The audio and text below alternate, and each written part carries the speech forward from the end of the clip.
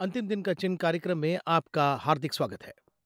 हर हफ़्ते something new ये कहकर हम कोशिश करके बहुत सी बातों को बाइबल के बहुत सी विषयों को ट्रेशर को निकालकर आपके सामने लाते यही अंतिम दिन का चिन्ह है।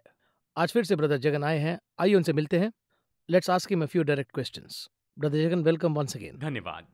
पिछले हफ़्ते हमने जो डिस्कस किया ऑफ़ कोर्स सब एपिसोड्स अलग अलग हैं बट लास्ट प्रोग्राम में हम प्रॉमिस लैंड की हमने शुरुआत की। अब ये प्रॉमिस लैंड को प्रॉमिस क्यों किया गया? और प्रॉमिस लैंड को हमें सीरियसली क्यों लेना चाहिए? और उसका और हेवन का क्या कनेक्शन है? देखिए, हम आम तौर पर इस ओल्ड टेस्टमेंट को एक बुक के जैसे पढ़ते पढ़ते ही जा रहे हैं। हेवनली किंगडम से इसका क्या कनेक्शन है, ये हम देख ही नहीं रहे हैं। ज़्यादातर लोग इसे ठीक से करेक्ट नहीं कर पा रहे हैं। अब इस प्रॉमिस लैंड को हमें इतना सीरियसली क्यों लेना चाहिए? और क्यों हेवन इस चीज़ को ऐसा रखा है? इसे हम और थोड़ा गहराई से देखेंगे तो अच्छा होगा। पिछले हफ़्ते हमने इसको स्टार्ट किया था, लेकिन ये हफ़्ते हम इसे और भी गहराई से देखेंगे। If you can explain the principles behind this promise land देखिए, पिछले हफ़्ते कुछ चीज़ें हमने देखी थी। उससे थोड़ा और हटकर या फिर और थोड़ा गहराई में जाकर देखे तो ये प्रॉमिस लैंड की जो प्रतिज्ञा थी ये परमेश्वर ने दी थी और वो उसने पूरी भी की।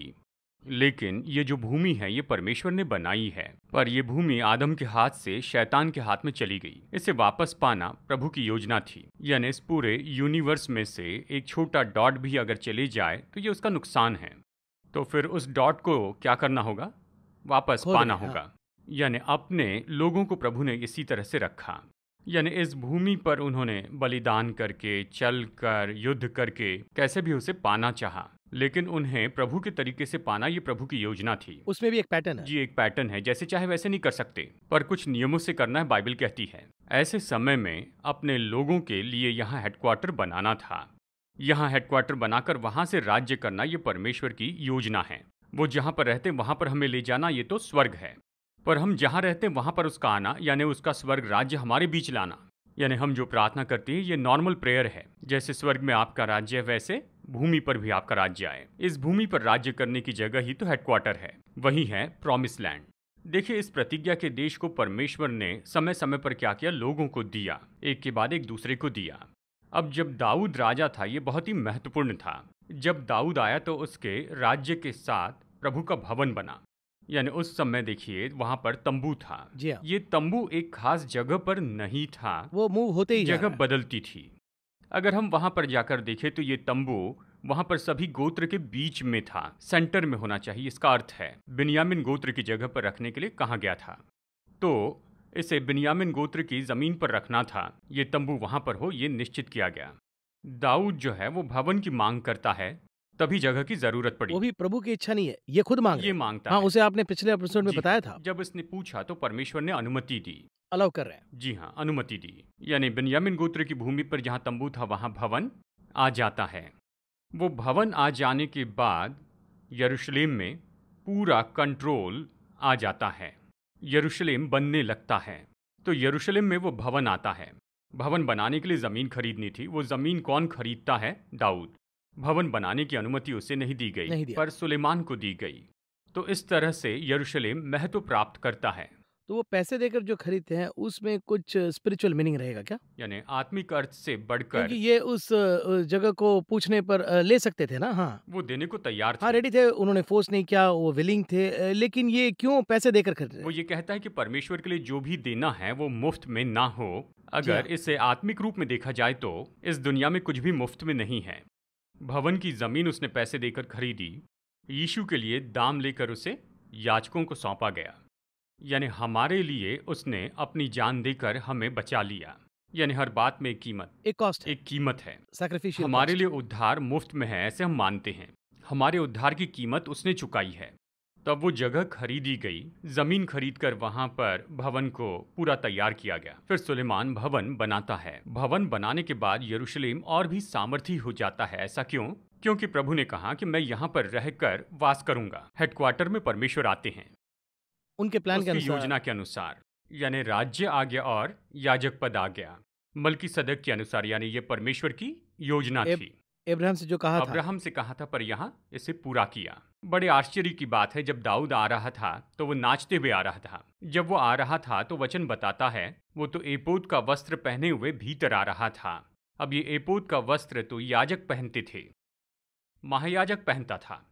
इसे राजा के वस्त्र पहनने थे ना? पर एपोद का वस्त्र पहने था यानी याजक का वस्त्र पहने था ये राजा नाचते हुए आता है। यीशु मसीह राजा है ना?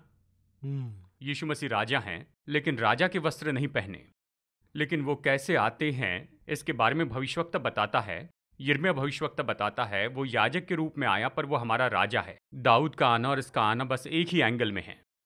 दाऊद प्रवेश करता और सब मिलते हैं इसी तरह से ये भी है। उसी यरूशलेम में उसी जगह। दाऊद ने जहाँ प्रवेश किया वहीं प्रवेश करते हैं। तो यहाँ पर दाऊद भीतर आता है यानी याजक का वस्त्र पहनकर वो वाचा का संदूक लाता है और ये सब है यरूशलेम और भी महत्वपूर्ण होते जाता है। उसी जगह पर सुलेमान भवन बनाता है। भवन बनाने के बाद परमेश्वर कहते हैं कि मैं यहीं पर वास करूँगा। वहाँ एक प्रॉमिस करते हैं। ये प्रतिज्ञा करते हैं इसके कारण ये जो स्थान है बहुत महत्वपूर्ण हो जाता है आत्मिक महत्व रखने वाला है। शारीरिक रूप में और राज्य के हिसाब से बहुत ही महत्वपूर्ण हो जाता है। ऐसे ही इस यरूशलेम के अंदर यानी जैसे अदन में शैतान ने प्रवेश किया सांप के रूप में आया वैसे ही यरूशलेम में सुलेमान के राज्य में गलत काम होने लग जाते हैं। मिस्टेक मिस्टेक्स होती हैं। इतनी गलतियों के बाद क्या होता है? प्रभु यरूशलेम को छोड़ देते हैं। त्यागते हैं लेकिन चेतावनी देते हैं चेतावनी देते रहते हैं। हम उसे पढ़ते ही आ रहे हैं हाँ। हाँ। परमेश्वर एक बार में ही किसी को खत्म नहीं करते। उसे जितना समय चाहिए, उतना समय देते हैं, चेतावनी भी देते हैं, धीरज रखते हैं, यानी इसमें कुछ साल लगेंगे। और इसलिए परमेश्वर कुछ साल देते हैं। भविष्यवक्ताओं को वो बुलाते हैं, जब वो किसी की भी बात नहीं मानता है और कोई रास्ता नहीं है तो फिर प्रतिज्ञा के देश का अब क्या होता है? यानी इसे फिर से अच्छी भूमि बनाने के लिए शुद्धिकरण करना ज़रूरी है। भीतर की चीज़ों को निकालना है पर ये लोग नहीं निकालेंगे। परमेश्वर ने उनसे कहा था कि तुम शुद्धिकरण करते जाओ क्योंकि गलत हो रहा है पर ऐसा करने से इन्होंने मना कर दिया हम्म। और ये परमेश्वर के विरुद्ध बात करने लगते हैं। रिवर्स जा रहा है। जब उल्टा होने लगता है तो प्रभु शुद्धिकरण के लिए किसी को भेजते हैं। और वो है अन्य जाति का राजा नबुकदनेसर आ जाता है। वो आकर पूरे देश को ही जला देता है। जी हाँ। भवन तोड़कर पूरी तरह से जला देता है। कंप्लीटली जला देता है। केवल इतना ही नहीं उस पूरे नगर को ही वो जला देता है। जो जो परमेश्वर को पसंद नहीं करते थे उन्हें भी मार दिया था और सबको मार दिया। हम्म। ऐसा करने की उसे अनुमति क्यों दी गई? क्योंकि इस भवन में भी वहाँ पर गलत काम हो रहे थे। यानी पूरे देश को ही क्लीन कर दिया। शुद्ध करने के लिए नबुकदनेसर को भेजा। इस तरह से सत्तर साल बीत गए। उनके पास भवन नहीं था। तो नेहमिया दुखी होता है दानियल दुखी होता है। हम देखते हैं ये सब लोग हाँ। दुखी हो गए थे। हाँ। ये सब दुखी थे और अंत में नेहमिया को भवन फिर से बनाने की अनुमति मिल जाती है। और फिर एजरा जरूबाबिल ये सब आते हैं फिर से भवन बनाते हैं और यरूशलेम एक महत्वपूर्ण जगह बन जाता है। देखिए ये अब तक जो भी है ये सांसारिक बात है। आत्मिक रीति से देखा जाए तो शैतान तो हमेशा परमेश्वर के हेडक्वार्टर में जाना चाहता है। यही नहीं स्वर्ग में भी। मैं अपना सिंहासन ऊँचा रखूँगा और मैं ऊपर में रहूँगा। इस तरह उसकी आशा थी। वहाँ वो लड़ते ही रहते जी हाँ इस तरह से उसके मन में बात थी। यरूशलेम में वो यही तो चाहता है। जहाँ परमेश्वर का हेडक्वार्टर है वहाँ पर वो आना चाहता है। वहाँ आकर बड़ा व्यक्ति बनना चाहता है। अपनी आराधना चाहता है। ये उसकी योजना है। तो ये दाऊद के समय में खत्म हुआ। पर सुलेमान के राज्य में हो पाया। सुलेमान के बाद में आने वाले राजा रहबियाम यरोबियाम सब सबसे बुरा राजा मनस्से हाँ जी हाँ। और इसके समय अवस्था और भी बिगड़ गई थी। लेकिन एक छोटी सी बात है प्रतिजगन इतने बुरे मुनेसे को भी आखिर में माफ़ी दे देते हैं परमेश्वर। जी हाँ माफ़ी मांगते ही स्वर्ग उन्हें माफ़ करता है। वैसे ही मुनसे को माफ़ करते मनसे हैं। को भी माफ़ किया दाऊद को माफ़ किया सबको माफ़ किया। देखिए आज भी वो सभी लोगों को माफ़ करते हैं। आज हमें भी माफ़ करते हैं। हमारे बारे में बाइबल में लिखने के लिए नहीं इसलिए हम बच गए मैं यही कहता हूँ। केवल उनकी गलतियाँ लिखी गई हैं ताकि हम उससे सीख कर गलती न करें। उन्हें माफ़ किया गया ये महत्वपूर्ण है। इसलिए मैं कहता हूँ देखिए बाइबल के सारे कैरेक्टर्स उन्हें ऐसे अलग करके ये लोग बुरे थे इस तरह हमें नहीं कहना चाहिए। उन्होंने ये सब गलतियाँ की है हम ऐसी गलती न करें इस तरह परमेश्वर कहते हैं। लेकिन उनका क्या हुआ ये हमारे काम की बात नहीं है। करेक्ट उसे हम we did not go deeper into that आगे हम छोटा सा ब्रेक लेंगे। ब्रेक के बाद जो सवाल है उस टेंपल के बारे में आपने बताया, सोलोमन के टाइम में जिसे बनाया गया था और प्रॉमिस लैंड के बारे में आपने बताया उसके विषयों के बारे में अगर आप विस्तार से बताएँगे तो और भी अच्छा होगा, आगे बात करेंगे, ब्रेक के बाद मिलेंगे।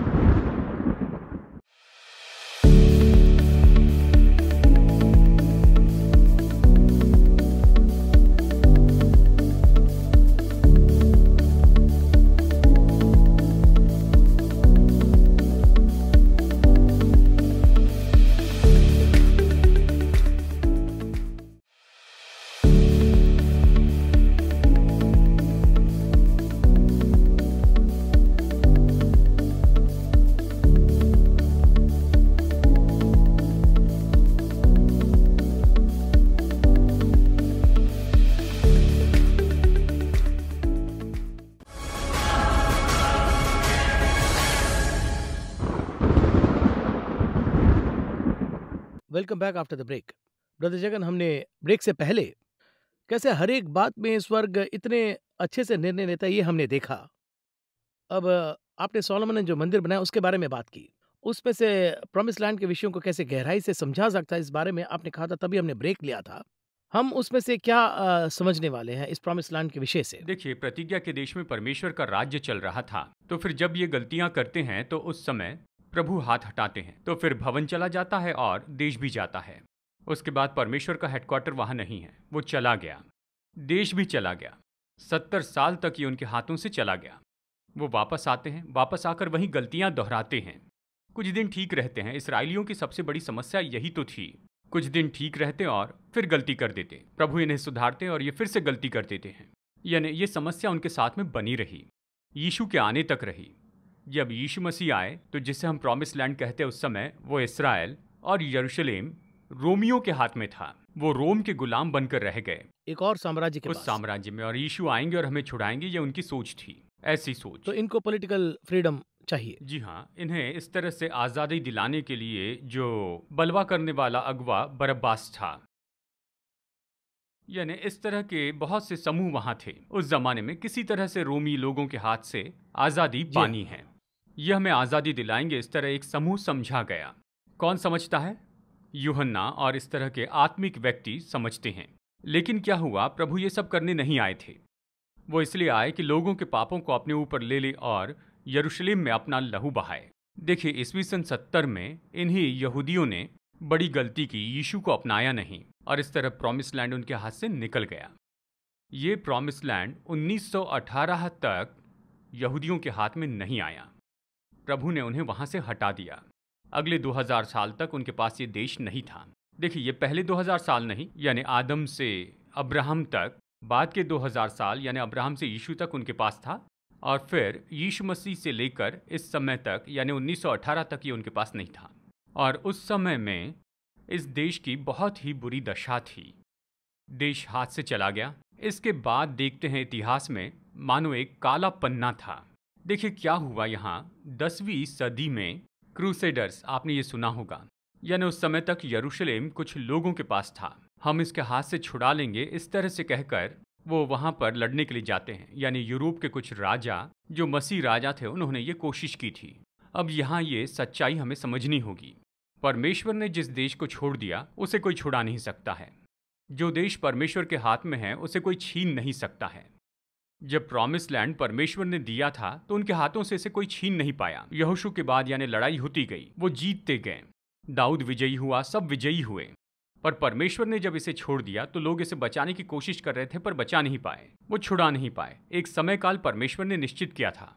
तब वो उसे छुड़ाएँगे, ऐसे कहा था। अब देखिए क्या हुआ क्रूसेडर्स उसे दस क्रूसेड वॉर कहते हैं, और हर एक युद्ध में वो हार गए। बड़ी मात्रा में जानो माल का नुकसान हुआ।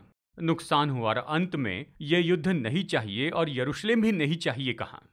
यानी इस तरह दसवीं सदी के बाद ये बंद हो गया। उसके बाद दस दशकों तक, या सही कहे तो नौ दशकों तक, यरूशलेम में वहाँ पर कुछ भी नहीं था। इसके बाद कुछ घटनाएँ हुई और इस तरह कह सकते हैं कि ड्रामेटिक चेंज हो गया। यानी मेरेकुलस चेंज हो गया, इस तरह से कहते हैं। ये जो यरूशलेम और इसराइल देश, ये अंतिम दिनों में वापस आएगा, इस तरह से यीशु ने कहा था। मैं उन्हें फिर से एक साथ कर दूँगा, मैं उन्हें एक साथ जोड़ूँगा और इस देश में फिर से, यानी दूध और दही की नदियाँ बहेगी इस तरह प्रभु ने कहा। तो अब इसराइल का वापस आने का समय हो गया है। इसमें एक बात मैं बताता हूँ। दुनिया में जो भी हो रहा है, परमेश्वर उसका उपयोग करते हैं। नबुकदनेसर ने परमेश्वर के भवन को तोड़ा और ये सब जो किया, हम इसे आत्मिक रूप में देख सकते हैं। नबुकदनेसर क्यों आया था? इसराइली लोग प्रभु से दूर हो गए थे इसलिए। उन्हें सुधारने के लिए मैं मारूँगा ऐसे कहा था क्या? नहीं। उसके हिसाब से उसे पूरी दुनिया को जीतना था तो इसे भी जीतना था। करेक्ट इसी तरह से जब दुनिया में कोई घटना होती है उसके पीछे हम एक आत्मिक योजना को देखते हैं। यानी उसी घटना को हम आत्मिक रूप में देखते हैं वो सांसारिक योजना पर ध्यान देते हैं। अब इसे आत्मिक रूप में देखने की जो क्षमता है वो हमें चाहिए वो परमेश्वर का आत्मा देता है। हम्म, अब देखिए पहला विश्व युद्ध उदाहरण के लिए पहला विश्व युद्ध ये पहला विश्व युद्ध क्यों किया गया था? ऐसे पूछे तो दुनिया में इसका एक कारण है। इसका कारण क्या था अगर ये पूछे तो? पहले विश्व युद्ध में ऑस्ट्रिया देश के राजकुमार और जर्मनी देश के एक साधारण नागरिक के बीच में लड़ाई हुई थी। यानी वो आकर उसे गोली मार देते हैं। कहा जाता है एक डोमेस्टिक समस्या आपस की लड़ाई थी और फिर ये इंटरनेशनल युद्ध बन गया। यानी ऑस्ट्रिया को यहाँ पर एक देश के समूह ने मदद की थी। तो जर्मनी को दूसरे लोग मदद करने लगे। और फिर इन दोनों के बीच में बड़ा वर्ल्ड वॉर शुरू हो गया। इस विश्व युद्ध में इंग्लैंड अपने नेतृत्व में चल रहा था। इंग्लैंड जर्मनी के विरुद्ध में था। इसी दौरान हर एक जगह पर इंग्लैंड कब्जा कर रहा था। ऐसे ही वो यरूशलेम में पहुँचे, इसराइल में। इसके पहले यरूशलेम टर्की लोगों के हाथों में था। कब्जा करने आते समय यरूशलेम पर वहाँ पर बम फेंके गए और ये पहली बार यहाँ फ़्लाइट का उपयोग किया गया, वॉर फ़्लाइट का उपयोग किया गया था। बमबारी करने के लिए उपयोग किया गया। पर ऐसा करते समय यरूशलेम पर बमबारी करने की उनकी आशा नहीं थी। यानी किसकी पूछे तो यहाँ, उस समय के इंग्लैंड के सेनापति का नाम जनरल एलन बी था। जनरल एलन पी ने क्या सोचा कि एक समय मेरे परमेश्वर ने यहाँ पर प्रवेश किया था तो मैं यहाँ पर बमबारी करना नहीं चाहता हूँ। तो वो एक अलग तरह का इस्तेमाल करते हैं। तो फिर यरूशलेम में उन्होंने क्या किया? उसी फ़्लाइट के द्वारा वॉर फ़्लाइट के द्वारा, जैसे ट्रैक्स ऊपर से बरसाते हैं ना, उन्होंने वैसे पर्चियाँ बरसाई और उस पर क्या लिखा था? तुम समर्पण कर दो तो मैं तुम्हें बचा लूँगा, मैं तुमको नहीं मारूँगा। ऐसा लिखकर उसके नीचे अपना नाम लिख दिया। उनका नाम था एलन पी और जब अरेबिया के लोगों ने ये सब देखा तो उन्हें वहाँ पर ये बहुत अलग लगा। इसे पढ़ते समय उन्हें कुछ अलग लगा। उसे देखकर युद्ध नहीं किया, पर उन्होंने समर्पण कर दिया। इस तरह इंग्लैंड को यरूशलेम मिल गया। और जो एलन पी ने किया था, वो बहुत अच्छा काम था। उसकी फ़ोटो अभी भी उपलब्ध हैं। कई जगह पर जब वो जाते थे तो घोड़े पर सवार होकर जाते थे। लेकिन जब वो यरूशलेम के फाटक के पास आए तो वो घोड़े से उतर कर चलने लगे। बाकी लोग घोड़े पर सवार थे, पर ये पैदल चलने लगे एलन पी। इसका कारण क्या था? मेरे परमेश्वर गधे पर बैठकर यहाँ पर राजा बन के आए। मैं उनसे छोटा हूँ और इसलिए मैं घोड़े पर सवार नहीं होऊँगा मैं पैदल चलूँगा। तो इस तरह यरूशलेम 1918 में इंग्लैंड के हाथ में आ गया और यहीं पर बहुत बड़ा बदलाव होना शुरू हो गया। टर्निंग पॉइंट टर्निंग पॉइंट ये कैसे हुआ अगर पूछे तो जब पहला विश्व युद्ध चल रहा था उस समय इंग्लैंड के पास जितना बारूद था वो खत्म होने लगा। बारूद नहीं था और बारूद उन्हें पोलैंड से लाना था लेकिन इनके बीच वहाँ पर दुश्मन थे तो उसे लाने में रुकावट डाल दी। इंग्लैंड को हराने की नौबत आ गई। तो उस समय रानी को एक वाइस मैन कहलाने वाले एक यहूदी डॉक्टर ने उन्हें एक चिट्ठी लिखी। मैं जो माँगता हूँ, अगर आप मुझे देंगे तो मैं आपको बारूद तैयार करने में मदद करूँगा। इस तरह कहा। तो फिर उसके बाद रानी ने उन्हें बुलाया और उनसे बातें की। तो उसने उनसे मकई मांगी। यानी बहुत सी मकई उसने वहाँ पर मांगी। उसे लाया और बारूद तैयार किया। और वो जो बारूद था उसने पहले विश्व युद्ध में वहाँ पर बहुत बड़ा काम किया। केवल इतना ही नहीं लेकिन इंग्लैंड जीत भी गया। अगर आप सर वाइस मैन के नाम से इंटरनेट पर खोजे तो आप पाएँगे ये एक यहूदी डॉक्टर थे और फिर उन्हें सर नाम से नवाजित किया गया। विजयी होने के बाद इंग्लैंड की रानी ने उन्हें बुलाया। तुम्हें क्या चाहिए बताओ। हम देने को तैयार है क्योंकि हमारी जीत का जिम्मा भी तुम्हारा ही था। जी हाँ। तब सर वाइसमैन ने कहा कि हमारे लोग 2000 साल से शरणार्थी जैसे घूम रहे हैं। हमारे पास अपना देश नहीं है। हमारा देश आज आपके पास में है। उस देश में रहने की अनुमति आप हमें दीजिए, बस यही मैं माँगता हूँ। उस वक्त सर वाइसमैन की बिनती को ठुकरा नहीं पाए और फिर उस वक्त क्या किया गया? उन्हें वहाँ रहने की अनुमति दे दी गई और फिर उनके अधिकार का जो डॉक्यूमेंट है, उसे बॉलफोर डिक्लेरेशन इस तरह कहते हैं। बॉलफोर डिक्लेरेशन का क्या अर्थ होता है? तब इंग्लैंड के फॉरेन मिनिस्टर होते थे बॉलफोर। उन्होंने इसका शुरुआती काम किया था, इसलिए बॉलफोर डिक्लेरेशन कहा जाता है। इसके पहले भी कुछ घटनाएँ हुई। 1850 के दशक में थियोडर नाम के एक व्यक्ति के नेतृत्व में जायनिज्म की शुरुआत की गई। यानी अगर आप शुरुआती बातों में देखें तो उन्हें इसराइली लोग नहीं कहते थे। यानी अभी इसराइल कहते, लेकिन उसके पहले उन्हें इसराइल नहीं कहते थे। उनका नाम था जायनिस्ट। क्योंकि जायनिस्ट नाम का समाज शुरू किया गया और दुनिया भर के यहूदी उसमें शामिल थे। ज़रा आप सोचिए, कहिए 200 साल के पहले इंटरनेट नहीं था, व्हाट्सएप नहीं था, कुछ भी नहीं, ऐसे समय में दुनिया भर के सारे यहूदियों को कैसे जमा करेंगे? यानी अमेरिका, जर्मनी, रशिया से सभी यहूदियों को जमा किया और फिर उनके लिए एक बैंक शुरू कर दी और उस बैंक में सियोनिस्ट अकाउंट शुरू किए। तब यहूदियों को कर्तव्य के रूप में क्या कहा गया? हम अपने देश को पैसा देकर वापस खरीदेंगे। उसके लिए आप पैसा दीजिए इस तरह कहा। तो यहूदी लोग अपनी कमाई का एक हिस्सा जमा करने लगे। वो इसे यहाँ पर जमा करके भेजने लगे। अब कैसे भेजेंगे? किस आधार पर? कौन कह रहा है? कैसा होगा? ये सब देखिए डेढ़ सौ साल पहले की बात है। यानी हम्म, इंटरनेट तो था ही इंटरनेट नहीं था। ऐसे समय में फ़ोन पर बात करना भी बड़ा मुश्किल होता था। तब ये हो रहा था। तो जाइनिस्ट क्या कर रहे थे? एक तरफ़ वो देश को खरीदने के लिए पैसा जमा कर रहे थे। दूसरी तरफ़ वाइसमैन के द्वारा इनके लिए देश में द्वार खुले। फिर 1918 में ये जो इसराइल नाम का देश है, उस समय पैलेस्टीन था। ये पूरा देश इंग्लैंड के पास था। यहीं पर इंग्लैंड ने पहली गलती कर दी। यही बात थी। वो यहूदियों का देश था। उनके हाथ में बाइबल थी। बाइबल में इतनी बातें थी। तो फिर वो क्या कहते हैं कि इसके पहले हम थे, ऐसे उन्होंने कहा। देखिए सबसे पहले कौन था? अब्राहम था। फ़र्स्ट फ़र्स्ट अब्राहम के पहले का कोई भी ज़िंदा नहीं था। हम्म। अब्राहम के बाद उसकी जो पीढ़ी है वो अभी भी ज़िंदा है। अब्राहम के पहले का वंश किसी को भी पता नहीं है। तो यहाँ सीनियरिटी देखा जाए तो अब्राहम के वंश को देना था। तब इंग्लैंड ने क्या किया? देखिए उसने एक नक्शा बना लिया। तीन में से दो हिस्से अरब को और एक हिस्सा इसराइल को दिया, यानी यहूदियों को दिया। इस एक हिस्से को बनाने के लिए उन्हें वहाँ पर अनुमति दी गई। यहीं पर इंग्लैंड ने सबसे बड़ी गलती कर दी, क्योंकि परमेश्वर के देश का बंटवारा करने का अधिकार उनका नहीं था। वो उस समय का कानून था, इस तरह सब लोग सोचते हैं। इसराइलियों को बसने की आज्ञा दी, यही सब खत्म हो गया। यानी तुम इसके आगे नहीं आ सकते, इस तरह कहकर उन्हें लगभग 800 किलोमीटर की जगह दे दी गई। अब वहाँ पर भीतर आए ये लोग दूसरे देश को पैसा देकर खरीदते हैं। वहाँ केवल रेगिस्तान है। जिन अरब के पास में ये थी उनको इसकी कीमत पता नहीं थी। दूसरी बात तब तक कोई कीमत नहीं थी। तब क्या हुआ जो जाइनिस्ट थे उनसे जो कीमत मांगी गई यानी जितनी कीमत मांगी उन्हें दे दी जाइनिस्ट ने। 1918 हम्म। से 1938 तक केवल 20 साल में 30-40 प्रतिशत ज़मीन बेच दी गई। तो उन्होंने सब कुछ दे दिया। यानी कानूनन रूप में ज़मीन खरीद ली रजिस्टर किया कानूनन खरीदी। परमेश्वर ने मुफ़्त दी हुई ज़मीन को इन्होंने खरीद लिया। एक बात हमें समझनी होगी परमेश्वर ने हमसे जो प्रतिज्ञा की थी वो प्रॉमिस लैंड है। उस भूमि को इन्होंने अपनी गलती के कारण गवाया था।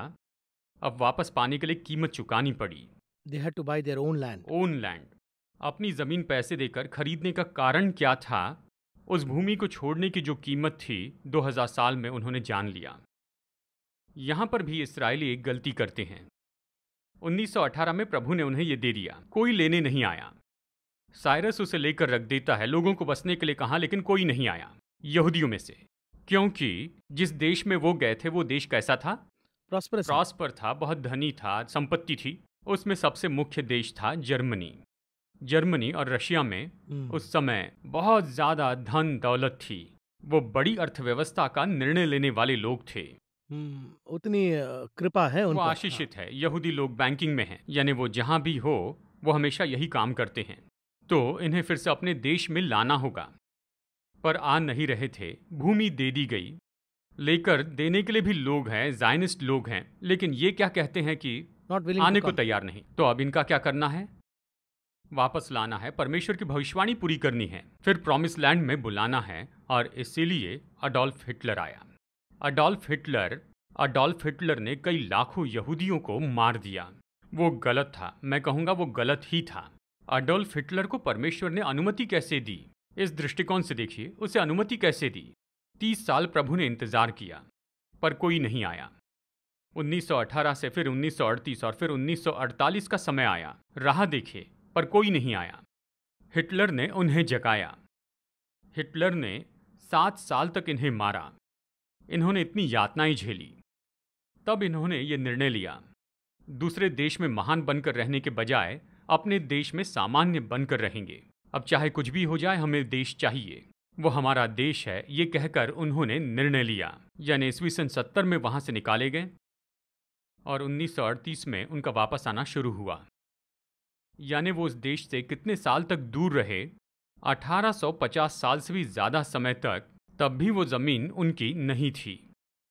तुम शरणार्थी हो। तुम इस देश के नहीं हो। इस तरह हिटलर ने उन्हें मार दिया। और उसके बाद यहूदी लोग कि यहाँ पर सौ साल रहने पर भी ये देश हमारा। नहीं तो हमारा देश हमारा देश है। ऐसा कहकर निर्णय लेते हैं और फिर वो कहाँ पर जाते हैं पता है? फिर से वो अपने देश में वापस आते हैं। 1936 में हिटलर ने जो मारा 1943 में उनकी वापसी शुरू हुई 1943 से 1948 यानी अपनी अपनी जान बचाने के लिए हर एक व्यक्ति वहाँ से निकलकर रोमेनिया, पोलैंड, पैदल चलकर भागकर जैसे भी आ सकते थे, वो इसराइल में आ गए। इसी समय परमेश्वर ने एक और व्यक्ति को जगाया। इतिहास में इसने एक अलग रूप दिया। रशिया का ये था स्टालिन। स्टालिन यानी हिटलर जैसा नहीं था। स्टालिन अलग किस्म का था। उसने क्या कहा? हिटलर ने यहूदियों की हत्या की। मैं हत्या नहीं करूँगा। मैं तुम्हें भेज दूँगा। तुम्हारे सारे पैसे देकर जाओ। अलग अलग कीमत तय की। डॉक्टर्स, यानी तुम्हें इतने हज़ार या लाख देने होंगे। इंजीनियर्स को इतने लाख। अगर अनपढ़ या फिर मजदूर यहूदी है तो इतनी कीमत देनी होगी, ये तय किया। वो दोगे तो बाहर जा सकते हो। ये कहकर उसने अपने कानून बना लिए। यानी अपने आप देखा जाए तो ये भी एक यातना ही थी। यानी उन्हें मारा नहीं, पीटा नहीं, लेकिन ये तो बिना मारे मारने जैसा है। अब कोई तरीका नहीं है। यानी उन्होंने अपना सब कुछ बेच दिया, घर बेच दिया। अब उन्होंने क्या किया? अगर ये लेकर जाए तो अर्थव्यवस्था पर प्रभाव पड़ेगा। तो मुझे सब कुछ देकर खाली हाथ जाओ, यही अर्थ था। यानी वो खाली हाथ सब कुछ बेचकर आए थे। इस तरह वो वापस आए। इससे एक बात जो समझ में आता ब्रदर जगन, वो है कि हिस्टोरिकली स्वर्ग कुछ तय करता है। जब हम बदलना चाहते हैं तो इतने बदलाव आते हैं। अगर हम स्वर्ग के रास्ते पर चलते जाएँ तो मैं कहता हूँ यानी बड़ा आशीर्वाद आए या ना आए श्राप बिल्कुल नहीं आएँगे। हम्म, शायद बड़ा लाभ न मिले पर नाश नहीं होंगे। बहुत बड़ी खुशी में होंगे या नहीं ये मैं नहीं जानता पर दुख नहीं होंगे। हम्म, परमेश्वर के रास्ते पर बड़े आराम से आप चलते जाइए। जी हाँ। जब हम दिशा बदल देते हैं वहीं शुरू होता है। स्वर्ग क्या कहता है मैं तुझे सही दिशा में लाना चाहता हूँ। चांस दे रहा हूँ। अब वो वापस सही रास्ते पर लाने की जो क्रिया है वो मुश्किल है। और कोई तरीका नहीं पैसा चुकाना ही होगा। है ना? जैसे आप किसी जगह पर जाने वाले हैं उसकी विपरीत दिशा में अगर आप चले जाएँ तो आपको वापस आना होगा ना? जी हाँ। उस दूरी को तय करने के लिए पेट्रोल खर्च होगा टोल खर्च होगा ये सब चुकाना होगा। इसी तरह से आत्मिक जीवन में भी है। परमेश्वर ने आपको जिस दौड़ में भागी बनाया, उसमें दौड़े तो कोई परेशानी नहीं है। आप सही जगह पर पहुँच जाएँगे। लेकिन जब आप ट्रैक से भटक जाते हैं तो तो वापस ट्रैक पर लाने के लिए कुछ ना कुछ तो करना पड़ता है। बहुत बहुत शुक्रिया ब्रदर जगन। बहुत सी बातों को हमने हिस्टोरिकली देखा। आगे हम अगले कार्यक्रम में, यानी कि अगले एपिसोड में will again meet and discuss more details on the depth of the promised land धन्यवाद। नमस्ते।